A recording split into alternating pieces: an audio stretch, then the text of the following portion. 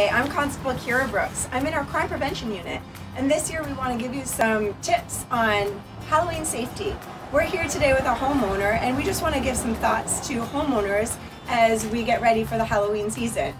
So I just want to remind you, as a homeowner, just being safe when the kids come up to your door, just reminding you not to invite anybody into your home that might scare the kids or, or the parents at the side of the road.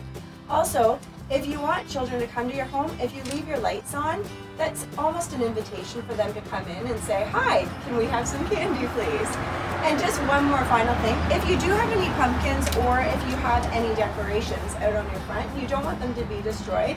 Sadly, sometimes kids get a little carried away. So bring in your pumpkins at the end of the night just so you don't have to worry about any vandalism. Thank you very much for participating today. Happy Halloween. Happy Halloween too. Thanks.